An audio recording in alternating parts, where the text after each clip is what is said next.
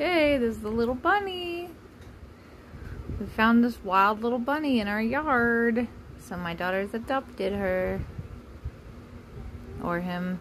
it's a wild little cottontail bunny. We thought it would probably die like right away, but it's been alive for a couple days now. Well, no, a few days. How many days has it been alive, do you know? I think we got him on Wednesday. Oh, we've got him on Wednesday and it's Saturday, so it's doing pretty. It's doing pretty good. We're just giving it a basically a goat milk that we got, and then uh, putting some extra. What was it?